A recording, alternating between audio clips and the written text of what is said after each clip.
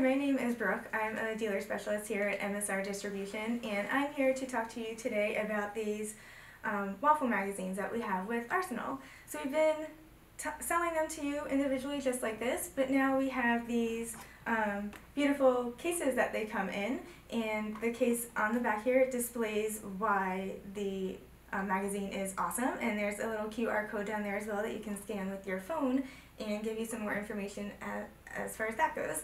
But we are selling them individually as well as in a 10 pack and a 40 pack. And if you get the 40 pack, you get this beautiful display for the magazines here. And you can display the magazines on it just like that.